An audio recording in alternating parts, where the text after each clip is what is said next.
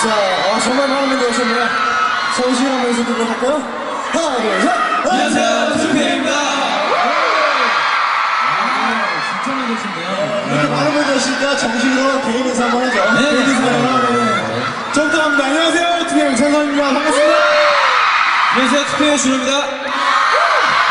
안녕하세요. 투표형 태입니다. 네, 정말 많은 분들 사랑해주셔서 네, 또 다시 돌아오게 된 것 같습니다. 네, 여러분, 그래서 여러분들께 또 뜨거운 무대를 보여드리기 위해서 지금 이렇게 왔으니까 네, 함께 즐겨주시기 바라겠습니다. 그럼 다음 곡 갈까요?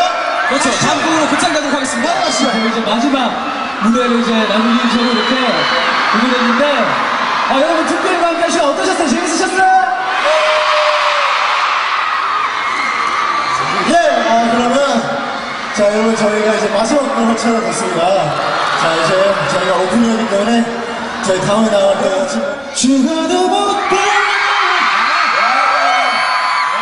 여러분 다들 짐작하셨죠? 야, 이거 뭐야. 자, 바보 아니면서 짐작하죠. 예, 예. 자, 다음에 투앱이 나올 거고요.